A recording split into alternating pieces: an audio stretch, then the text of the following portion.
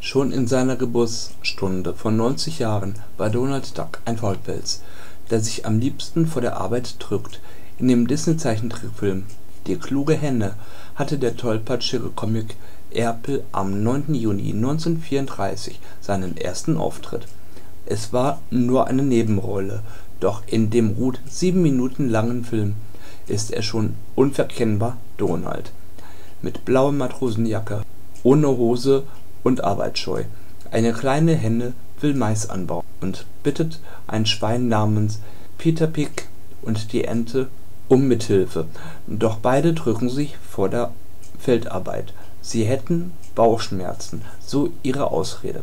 Für Donald Duck war diese Filmpremiere der Beginn seines Siegeszugs rund um die Welt. Der wohl berühmtesten Maus der Welt, Mickey Mouse, hinkt der Erpel allerdings immer ein wenig hinterher Walt Disneys Kreation mit den runden Ohren feierte schon 2018 das 90-jährige Jubiläum.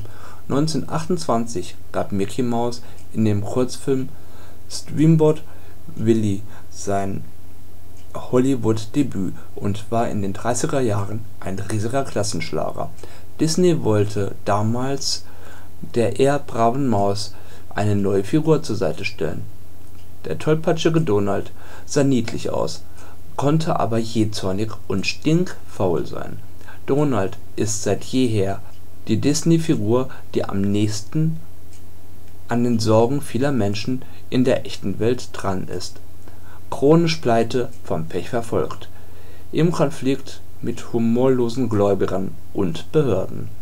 Er ist aber immer mutig und selbstlos, wenn es darum geht, seine Familie oder seine Angebetete vor Gefahren zu retten. Eine ganze Welt wurde um Donald herum geschaffen.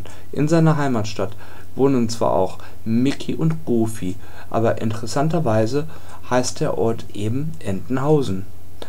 Und der Verlierer Donald, sein reicher und ehrgeiziger Onkel Dagobert, seine schnell pikierte Freundin Daisy und die frechen Neffen Tick, Trick und Track geben dort den Ton an. Natürlich wird der 90. Geburtstag nicht nur in Entenhausen groß gefeiert. Mit Extra-Ausgaben von Comicheft lässt der deutsche Verlag Egmont Ehapa Media den Erpel in seinem runden Jubiläumsjahr hochleben. Zu den Highlights zählt eine vierbändige Sonderedition des lustigen Taschenbuchs. Na dann, auf die nächsten 90 Jahre